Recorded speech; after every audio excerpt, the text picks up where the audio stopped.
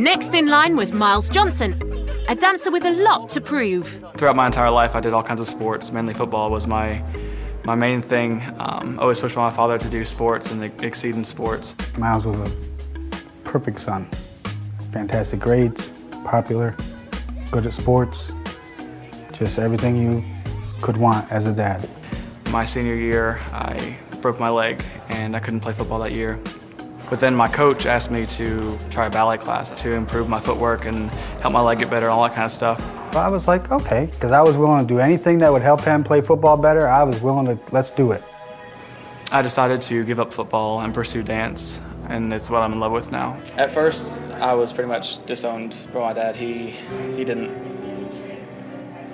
he he shut me out for a long time. Yeah. And he still has his moments where he's not, you can tell he's gritting his teeth not to say something. I had the All American quarterback of the football team, dating the cheerleader. I had everything, you know, I had, had it all, you know, but it's not what he wanted, I guess. Watching this just makes me miss it more.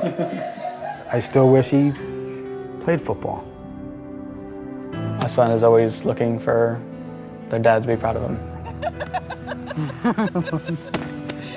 Don't do that in front of people. Even though I may not say it all the time, it still means the world to me. To have you there supporting me, even though you don't understand, is all I could ever ask for.